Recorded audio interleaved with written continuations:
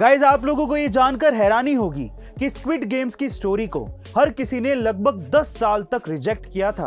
और उसके बाद कहीं जाकर नेटफ्लिक्स ने स्क्विड गेम्स को बनाने के लिए 21 मिलियन डॉलर्स की इन्वेस्टमेंट की थी। और आज ये सीरीज़ नेटफ्लिक्स की सबसे ज़्यादा सक्सेसफुल सीरीज़ में से एक है। और अभी तक 900 मिलियन डॉलर से भी ज़्यादा कमा कर दे चुकी है। सो so गाइस इससे हमें यह सीखने को मिलता है कि कभी भी अपने सपनों को पूरा करने की उम्मीद छोड़नी नहीं चाहिए, बल्कि उसे पूरा करने के लिए जी जान लगा देनी चाहिए। गाइज़ मान लीजिए कि आप बस से कहीं जा रहे हैं और अगर अचानक से आपकी बस खराब हो जाए और अगर आपसे कहा जाए कि आपकी बस को ठीक होने में पूरा एक दिन लगेगा तो आप क्या करेंगे?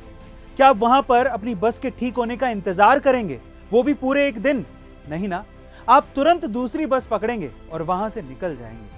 और कुछ ऐसा ही आपको अपनी ज़िंदगी में भी करना चाहिए। जब आपकी ज़िंदगी में परेशानियाँ हो, तकलीफें हो तो आप एक जगह रुककर दुखी नहीं हो सकते। आपको आगे बढ़ना ही होगा और इसी को ज़िंदगी जीना कहते हैं। अगली बार जब आपकी ज़िंदगी में कोई परेशानी आए तो प्लीज़ उसे वहीं छोड़ दो और आगे बढ़ो। गाइस, लाइफ में बहुत बार हमें ऐसा फील होता है कि हमारी लाइफ वर्थलेस है, किसी काम की नहीं है। तब हमें यह समझ ही नहीं आता कि हम पैदा हुए तो क्यों हुए? अगर आपको भी ऐसा लगता है तो इसे ठीक करने का तरीका सुनिए, तभी आप आगे बढ़ पाएँगे। देखिए, ऐसा है कि एक पानी की बोतल एक दुकान में बिकती है बीस रुपए की। वही पानी की बोतल एक होटल में बिकती है चालीस रुपए की। और वही पानी की बोतल एयरपोर्ट में बिकती है पचास रुपए की। बोतल वही है, ब्रांड भी वही है। सिर्फ़ एक ही चीज़ है जिससे कीमत बदलती है, और वो है जगह। तो अगर आप अपने आप को वर्थलेस मानते हैं तो अपनी जगह बदल कर देखिए।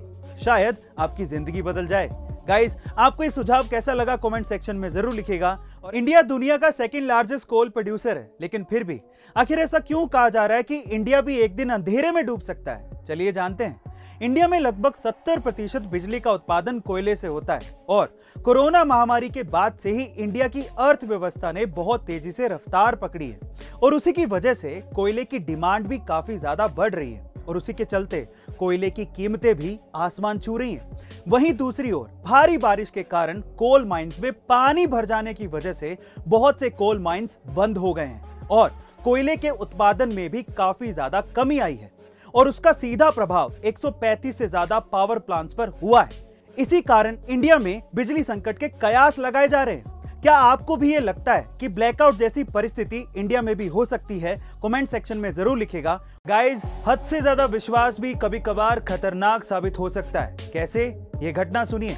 ये घटना घटी सन 2005 में, जब एक साउथ अफ्रीकन आदमी मैरियस एल्स ने एक नदी से एक बेबी हिप्पो को रेस्क्यू किया था, यानी कि उसकी जान बचाई थी। पर छह साल बाद उन दोनों के बीच की गहरी बॉन्डिंग के बावजूद भी, जिस नदी में मैरियस ने हिप्पो को बचाया था, उसी नदी में हिप्पो ने मैरियस को घसीट मार डाला। गाइस, विश्वास करो पर इतना भी मत करो कि जान गवा बैठो। गाइज़ इस घटना के बारे में आपका क्या ख्याल है? कमेंट सेक्शन में ज़रूर लिखेगा। और ऐसी घटनाओं की जानकारी के लिए शेयर सब्सक्राइब एंड लाइक मिलता अगली वीडियो में।